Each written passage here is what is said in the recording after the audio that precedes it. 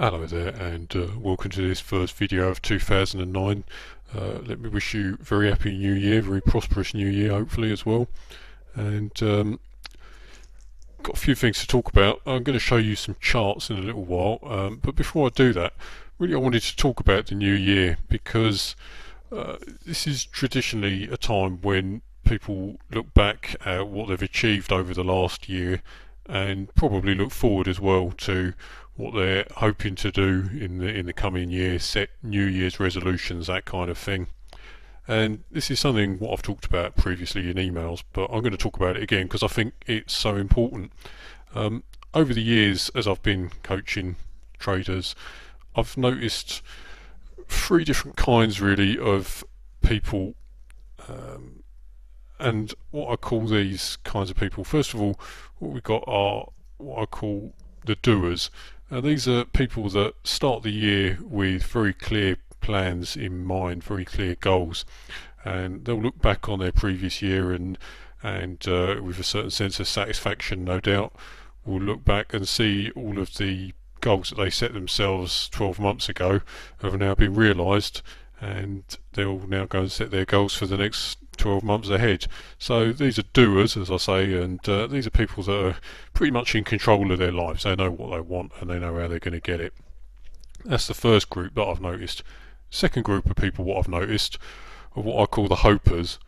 And in some ways, these people are a lot like the doer group of people. They'll start the year full of ambition and full of hope, and uh, they'll have lots of plans uh, about what they want to achieve in the year ahead. It might be that they're going to find a new partner or start a family or move home or uh, possibly change their career or make a lot of money. But uh, the hopers do have one big difference with the uh, the doers, and that is that they'll look back on the last 12 months and what and wonder what happened to all of their their hopes and uh, and their dreams and goals from a year ago they were confident of making a change in their life, but somehow life seemed to get in the way of that change and it, it just never happened. And these people, these hopers, aren't in control of their life, uh, they're actually controlled by their life, and that's the difference between hopers and doers. And then the third group, what I've noticed, are what I call the no hopers, which is probably uh, quite unfair because it's not necessarily that these people have no hope. Uh, it's that they just may not have any particular plans or goals. Um, maybe they don't know what they want from their lives, or more often than not, it's just that they're quite content with uh, with their life as it is at the moment, and they don't see any reason to change that, or that perhaps they just don't think that they can change their life. So that's what I call the no hopers. So the question is, which one are you? Uh, which category do you fall into? You're a doer, or are you perhaps a hoper, or are you a no hoper? And I suspect that most people watching this will fall into the middle category. They're hopers. They're people that have lots of plans or want to make a change, but for whatever reason, don't necessarily make that change. And I know that, speaking personally, I was always a hoper. For a very, very long time, I was a hoper. I was in the day job grind. I've spoken about this before, um, so I won't, I won't, dwell on the point. But uh, I do understand what it's like being a hoper. And the trouble is, you know, at the start of the year, I'd say to myself, this this is going to be different this year. This year, I'm going to find a way to make some money on my own. This year, I'm going to get out of the system. Uh, I'm going to change my life and uh, and make some money by myself. And the trouble is, by February or March, you know, you, are back into the old day-to-day routine, and uh, your plans are either forgotten or maybe just not forgotten, but pushed to one side because you're too busy getting on with with normal life. Um, and that's that's what the problem's like. It's like uh, life. You're hurtling along at, at, full speed, and you can see a better life uh, somewhere off in the distance but you don't think that you can reach it because you're too busy hurtling along with, with your existing life.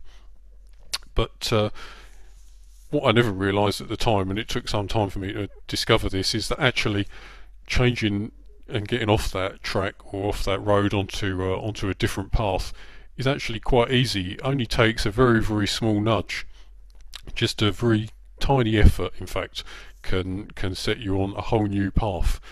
And for me, I made that change by setting aside just one hour a week to learn about day trading. I made the commitment to myself that whatever else happened, I would take at least an hour a week and I would uh, read as much as I could, uh, learn as much as I could, and practice and actually get on with it and do it. Uh, and that really is what made the change from being a hoper into a doer. It's, I mean, it, it sounds pretty obvious, but doing is, is what makes the difference. And uh, it's it's not a big change. Once you actually make that change, you look back and you think, well, why didn't I do this earlier?